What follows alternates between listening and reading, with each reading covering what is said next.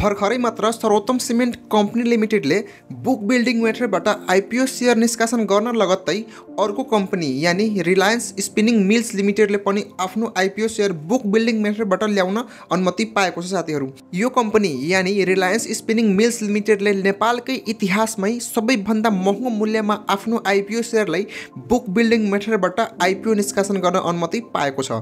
भने आजको यो भिडियोमा यो कम्पनी यानि रिलायन्स स्पिनिङ मिल्स लिमिटेडले कति आइपिओ सेयर निष्कासन गर्न लागेको छ कतिका दरले आइपिओ सेयर निष्कासन गर्न लागेको छ यो कम्पनीको आइपिओ सेयर एप्लाई गर्न हामीले कति लगानी गर्नुपर्ने हुन्छ साथै यो कम्पनीमा कतिजना भाग्यमानी लगानीकर्ताहरूले कति किता आइपिओ सेयर प्राप्त गर्न सफल हुनेछ के यो कम्पनीमा पनि सर्वोत्तम सिमेन्टको जस्तो दस किता आइपिओ भर्न पाइँदैन त? र साथै यो कम्पनीको सेयर कहिलेदेखि सर्वसाधारणको लागि खुला हुन जान्छ? र यो कम्पनीको फाइनेन्सियल एनालाइसिसको बारेमा पनि बताउनेछौँ साथीहरू। त्यसकारण यो कम्पनीको सम्पूर्ण जानकारी प्राप्त गर्न चाहनुहुन्छ भने भिडियोलाई लास्टमा हेर्नुहोला र च्यानलमा नयाँ हुनुहुन्छ भने च्यानललाई सब्सक्राइब गर्नुहोला। नमस्कार स्वागत छ हजुरहरूलाई नेपाल एजुकेसन एकाडेमीमा। रिलायन्स स्पिनिङ मिल्स लिमिटेडले पनि बुक बिल्डिङ मेथडबाट आइपिओ सेयर निष्कासन गर्ने अनुमति पाएको छ भने नेपालकै इतिहासमा सबैभन्दा महँगो मूल्यमा यो कम्पनीले आफ्नो आइपिओ सेयर निष्कासन गर्ने भएको छ। यो कम्पनीले आफ्नो पहिलो चरणमा योग्य संस्थागत लगानीकर्ताहरूको लागि कुल सात लाख सत्तरी हजार छ सय चालिस किता आइपिओ सेयर निष्कासन गर्ने अनुमति पाएको छ साथीहरू। भने यो कम्पनीले आफ्नो कुल निष्कासन गर्न लागेको सेयरको चालिस प्रतिशतले हुन आउने यानि सात लाख सत्तरी हजार छ सय चालिस किता सेयर योग्य संस्थागत लगानीकर्ताहरूको लागि निष्कासन गर्ने भएको छ साथीहरू। यो कम्पनीले अबको केही दिनमा योग्य संस्थागत लगानीकर्ताहरूको लागि बोल कबोल प्रक्रिया मार्फत सेयर बिक्री गर्नेछ। यानि यो कम्पनीको आइपिओ सेयर एप्लाई गर्नको लागि योग्य संस्थागत लगानीकर्ताहरूको लागि अबको केही दिनमा बोल कबोल प्रक्रिया खुला हुनेछ साथीहरू। भने रिलायन्स स्पिनिङ मिल्सले आफ्नो आइपिओ सेयर बिक्री वितरण गर्नको लागि बोल कबोल प्रक्रिया मार्फत प्रति किता छ सय आठ रुपियाँदेखि नौ सय बाह्र रुपियाँ बिक्री बिक्री मूल्य तय गरेको छ साथीहरू। यानि यो कम्पनीको प्रति किता मूल्य छ सय आठ रुपियाँमै खुल्यो भने सबैभन्दा महँगो आइपिओ हुन जान्छ। र यदि माथिल्लो बिन्दु नौ सय बाह्रमा खुल्न गयो भने इतिहासकै सबैभन्दा महँगो आइपिओ भनेर यो कम्पनीको आइपिओलाई चिन्न सकिन्छ साथीहरू। यो कम्पनीमा पनि सर्वोत्तम सिमेन्टको जस्तो दस किता आइपिओ एप्लाई गर्न सक्दैन।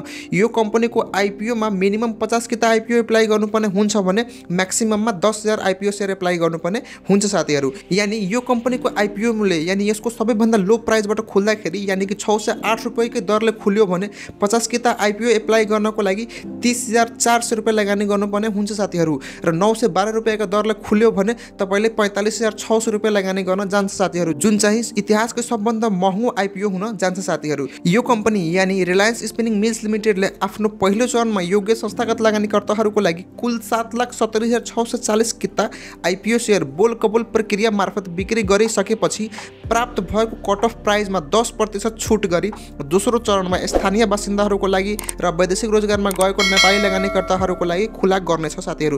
तब मात्र गएर तेस्रो चरणमा सर्वसाधारणको लागि आइपिओ खुला हुन जान्छ साथीहरू। यो कम्पनीको आइपिओ सेयर खरिद गर्न योग्य संस्थागत लगानीकर्ताहरूले बोल कबुल प्रक्रिया मार्फत रु छ सय आठ रुपियाँदेखि नौ सय बाह्र रुपियाँसम्ममा बिडिङ गरी कट अफ प्राइस तय गर्नेछ र त्यो कट अफ प्राइजमा योग्य संस्थागत लगानीकर्ताहरूले आइपिओ सेयर खरिद गर्छ र तय भएको कट अफ प्राइजमा दस प्रतिशत डिस्काउन्ट गरी यानि मानव कि कट अफ प्राइस छ सय पचास रुपियाँ तय भयो भने छ सय पचासको दस प्रतिशत डिस्काउन्ट गरी पाँच सय पचासीमा सर्वसाधारणको लागि वैदेशिक रोजगारमा गएको नेपाली लगानीकर्ताहरूको लागि र स्थानीय बासिन्दाहरूको लागि खुला हुनेछ साथीहरू।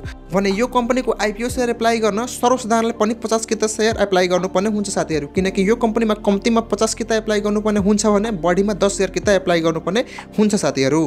नेपालमा सबैभन्दा पहिलो बुक बिल्डिङ मेथडबाट आइपिओ सेयर निष्कासन गर्ने कम्पनी सर्वोत्तम सिमेन्ट हो भने त्यसपछि बुक बिल्डिङ मेथडबाट आइपिओ सेयर निष्कासन गर्न अनुमति पाएपछि यो कम्पनी यानि रिलायन्स स्पिनिङ मिल्स लिमिटेड दोस्रो बुक बिल्डिङ मेथडबाट आइपिओ सेयर निष्कासन गर्ने कम्पनी बनेको छ साथीहरू।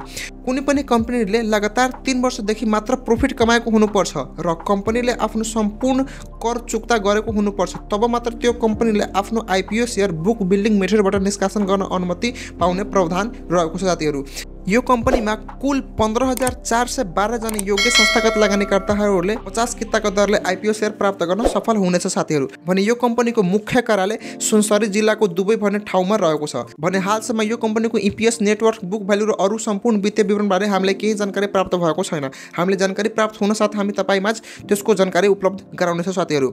यो कम्पनीको सेयर सङ्ख्या निकै कम रहेको हुनाले यो कम्पनीको सेयर नेप्सेमा लिस्टिङ भई कारोबार सुरु भएपछि हालसम्म सबै कम्पनीको सेयरभन्दा पनि माथिल्लो बिन्दुमा पुग्न सक्ने सम्भावना रहेको छ साथीहरू।